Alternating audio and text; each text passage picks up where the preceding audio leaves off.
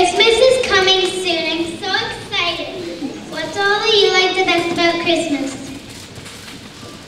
I like getting hot chocolate and driving around looking at all the Christmas tree lights with my family.